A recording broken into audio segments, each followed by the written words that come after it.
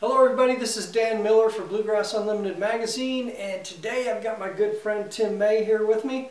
Uh, Tim and Alan Munde were here this past weekend and we had a great workshop and concert with these guys and Alan Munde is getting ready to be inducted into the Bluegrass Music Hall of Fame in a couple weeks. It's mid-September right now and 2024 and at the end of this month Alan's going to be inducted as one of the new inductees into the Bluegrass Music Hall of Fame. And at the award show, the inductees uh, get to get up and play a tune for the folks that are there. And Alan's going to play one of his most famous original instrumentals called Peaches and Cream. And Tim and Alan played that tune this past weekend, and it's a great song. And I thought it would be interesting for um, folks that play guitar to be able to learn how to play that tune for you, you get together with your banjo playing friends and if they know the tune that way um, you guys could pick it together. And it just so happens that several years ago, Tim May did this book called Alan Munde Banjo Tunes Arranged for Guitar. So this has got a whole series of uh, Alan's original tunes uh, that Tim arranged for the guitar and uh, this is available at flatpick.com if you're interested in it. It's got a wide range of uh, Alan Munde selections. You can look at the song list on the website. And so uh, Tim's going to play Peaches and Cream, and we'll put the tab from this book uh, on the website so that you can uh, work through it. And Tim will play it relatively like the tab. Yeah. Maybe not exactly, no, but it'll it'll be the tab. It'll just be a little. I'll do it a little slower, just to really not for you, for me. but, uh, yeah. So anyway, here for you guitar players that might want to learn how to play Alan Munde's tune Peaches and Cream. Here's Tim May.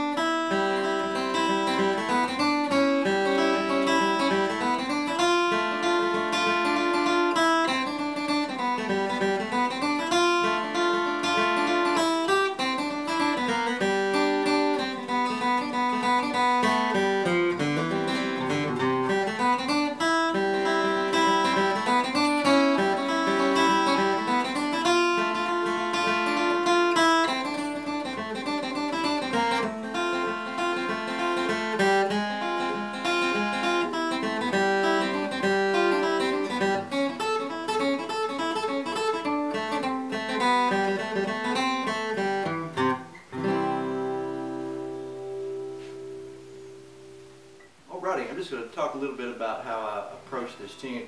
Uh, with Alan's tunes, I really tried to play exactly uh, the way he played it on the banjo. I tried to make that work exactly the same way on guitar. Uh, sometimes it would work, and uh, usually the only time it wouldn't is when you have a, a banjo roll that kind of keeps going that on guitar would just would not be, it tend to get lost. I mean, if you, you just sort of arpeggiated those three notes the way a banjo does. So that's about the only time I really altered anything very much. Um, uh, but this tune, uh, the biggest hurdle for guitar players is to play that sort of roll. And so uh, I kind of go back and forth. Most of the time on this tune, um, I'm going to play an alternating forward roll. So if you had strings 3, uh, 2, 1, um, I'm going to play the way George Shuffler played down, down, up.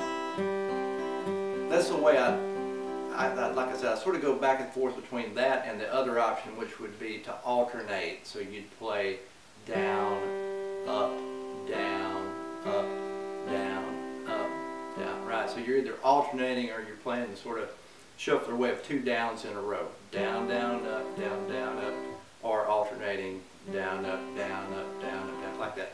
Uh, this tune, uh, it starts on so it starts on a quarter note there and then the roll starts. Right, so the example I just gave when I just played the tune, I was alternating it. So, you know, if I'm playing it a little more up to speed, uh, I usually will alternate. If I'm going for just strictly tone, usually I'll, I'll do the shuffler roll and I can't play the, most people can't play the, the shuffler roll as fast. I guess some people do, but um, Clarence White played it pretty fast. But uh, so those are the two options. Other than that, I don't think you'd have any problem with it. It's pretty straightforward. It's a beautiful tune. Um, got some interesting chords, and basically what you do is you just roll through them. You got an F, got an F minor, but you don't. We're not doing anything crazy other than just rolling over the uh, chord. So give it a shot. Enjoy. Peaches and Cream.